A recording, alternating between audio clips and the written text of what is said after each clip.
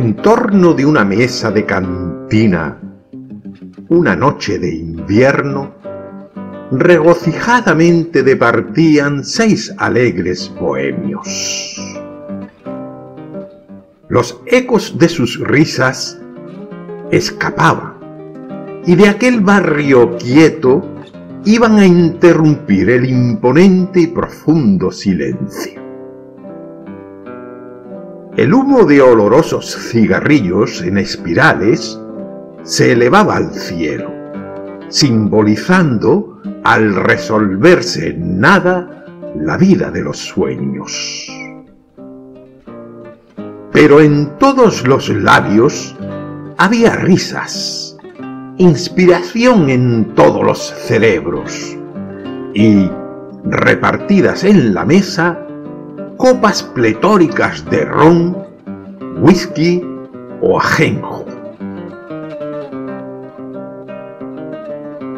Era curioso ver aquel conjunto, aquel grupo bohemio, del que brotaba la palabra chusca, la que vierte veneno, lo mismo que, melosa y delicada, la música de un verso. Cada nueva libación, las penas hallábanse más lejos del grupo, y nueva inspiración llegaba a todos los cerebros con el idilio roto que venía en alas del recuerdo. Olvidaba decir que aquella noche aquel grupo bohemio celebraba entre risas, libaciones, chascarrillos y versos la agonía de un año que amarguras dejó en todos los pechos y la llegada consecuencia lógica del feliz año nuevo. Una voz varonil dijo de pronto, las doce compañeros, digamos el requiescat por el año que ha pasado a formar entre los muertos. Brindemos por el año que comienza porque nos traiga en sueños, porque no sea su equipaje un cúmulo de amargos desconsuelos. Brindo, dijo otra voz, por la esperanza que a la vida nos lanza, de vencer los rigores del destino, por la esperanza, nuestra dulce amiga, que las penas mitiga y convierte en vergel nuestro camino. Brindo porque ya hubiese a mi existencia puesto fin con violencia, esgrimiendo en mi frente mi venganza. Si en mi cielo de tul limpio y divino no alumbrara mi sino una pálida estrella, mi esperanza. ¡Bravo! dijeron todos. Inspirado esta noche has estado y hablaste bueno, breve y sustancioso. El turno es de Raúl. Alce su copa y brinde por Europa, ya que su extranjerismo es delicioso. Bebo y brindo, clamó el interpelado, brindo por mi pasado, que fue de luz, de amor y de alegría y en el que hubo mujeres seductoras y frentes soñadoras que se juntaron con la frente mía.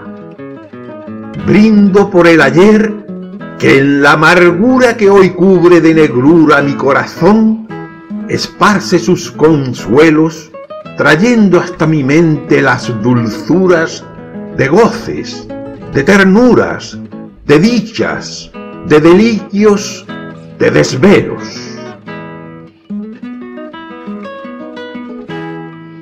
Yo brindo, dijo Juan, porque en mi mente brote un torrente de inspiración divina y seductora, porque vibre en las cuerdas de mi lira el verso que suspira, que sonríe, que canta y que enamora.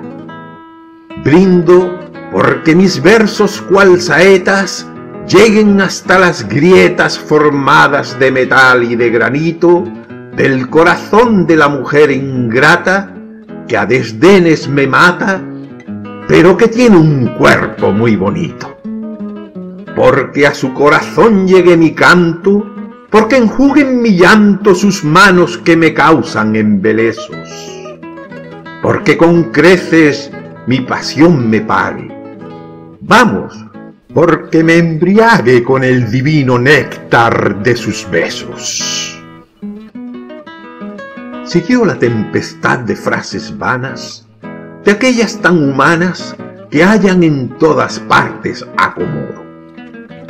Y en cada frase de entusiasmo ardiente hubo ovación creciente y libaciones y reír y todo. Se brindó por la patria, por las flores, por los castos amores que hacen un valladar de una ventana, y por esas pasiones voluptuosas que el fango del placer llena de rosas y hacen de la mujer la cortesana. Solo faltaba un brindis, el de Arturo, el del bohemio puro, de noble corazón y gran cabeza. Aquel que sin ambagues declaraba que sólo ambicionaba robarle inspiración a la tristeza. Por todos estrechado, alzó la copa frente a la alegre tropa, desbordante de risas y de contento. Los inundó en la luz de una mirada, sacudió su melena alborotada y dijo así con inspirado acento, brindo por la mujer, mas no por esa en la que halláis consuelo en la tristeza, rescoldo del placer, desventurados, no por esa que os brinda sus hechizos cuando besáis sus rizos artificiosamente perfumados. Yo no brindo por ella, compañeros, siento por esta vez no complaceros. Brindo por la mujer, pero por una, por la que me brindó sus embelesos y me envolvió en sus besos, por la mujer que me arrulló en la cuna, por la mujer que me enseñó de niño lo que vale el cariño exquisito, profundo y verdadero por la mujer que me arrulló en sus brazos y que me dio en pedazos, uno por uno, el corazón entero. Por mi madre, bohemios, por la anciana que piensa en el mañana como en algo muy dulce y muy deseado, porque sueña tal vez que mi destino me señala el camino por el que volveré pronto a su lado. Por la anciana dorada y bendecida, por la que con su sangre me dio vida y ternura y cariño, por la que fue la luz del alma mía y lloró de alegría sintiendo mi cabeza en su corpiño. Por esa brindo yo, dejad que llore, que en lágrimas desflore esta pena letal que me asesina. Dejad que brinde por mi madre ausente, por la que llora y siente que mi ausencia es un fuego que calcina, por la anciana infeliz que sufre y llora y que del cielo implora que vuelva yo muy pronto a estar con ella, por mi madre, bohemios, que es dulzura vertida en mi amargura y en esta noche de mi vida estrella. El bohemio cayó. Ningún acento profanó el sentimiento nacido del dolor y la ternura. Y pareció que sobre aquel ambiente flotaba inmensamente un poema de amor y de amargura.